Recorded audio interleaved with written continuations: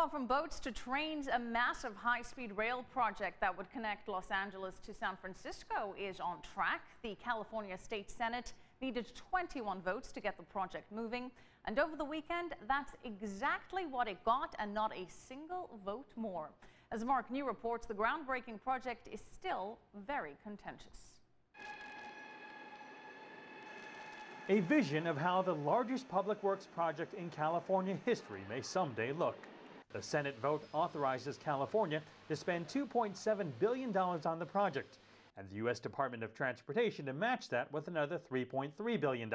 Less pollution, uh, faster travel times, ease of doing business, reduce congestion, and reduce dependency on foreign oil. It will bring the two pillars of California's uh, economy the Los Angeles and San Francisco areas much closer together. The drive from Los Angeles to San Francisco takes roughly six to seven hours.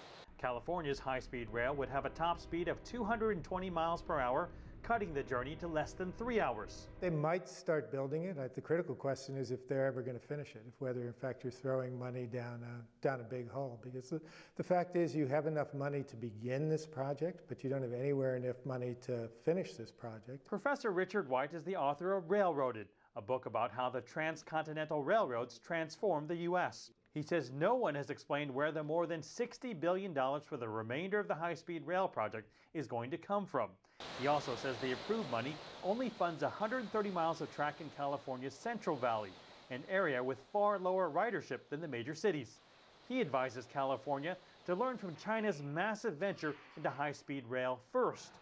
China, again, is the best example of what are going to be the benefits and are going to be the downfalls. In so many things in the modern world, um, China is the best test case for the future of a whole series of technological developments, and I would see what happens in China. Honestly, once we have shovels in the ground, uh, that will continue to build momentum. Uh, other states even, once we have high-speed rail here, other states will clamor for it, and we think that this will start a positive uh, feedback loop of high-speed rail development in America. The High Speed Rail Authority predicts hundreds of thousands of jobs will be created by the time the project is finished in 2029.